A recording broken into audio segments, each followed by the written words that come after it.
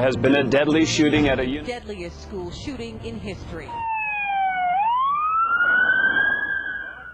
It all begins at 7.15 in the morning. Tragedy at Virginia Tech.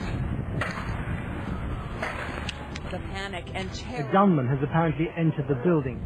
The number of victims in the dozens. gunman opened fire in a student dorm and Schools in the crosshairs. Why are so many students being targeted?